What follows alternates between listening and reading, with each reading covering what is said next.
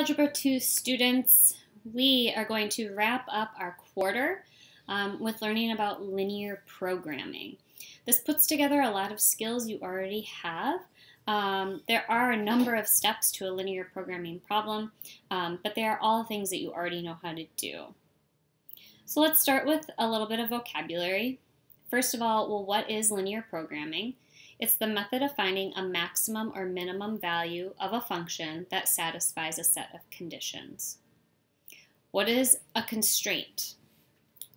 A constraint is one of the inequalities. So whenever you heard, hear the word constraint, think inequality.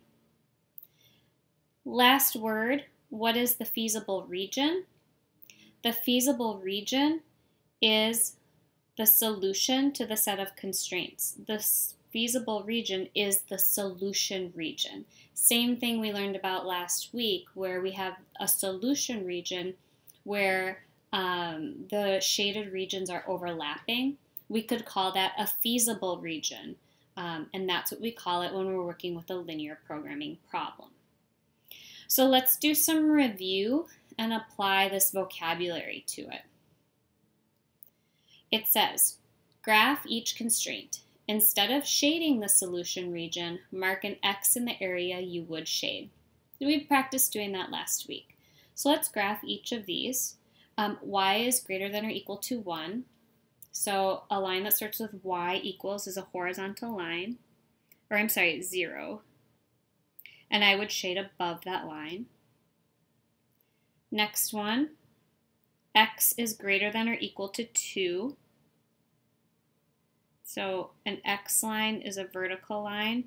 Greater than 2 would be to the right. X is less than or equal to 4. Draw a line on the 4. Less than would be on this side. And x plus y is less than or equal to 5. I can change this to slope-intercept form or I can use cover up and see that my intercepts are 5. My x-intercept is 5 and my y-intercept is 5. So I'm going to plot those two points, draw my line, and it's less than, so I shade below. Okay. So the question is, are all the x's in the same region? Yes. All of the x's are in this region right here. Um, it says to shade the region, and then it asks, what is the shape?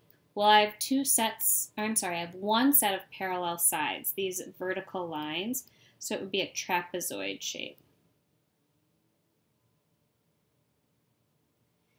And we would call this the feasible region, okay?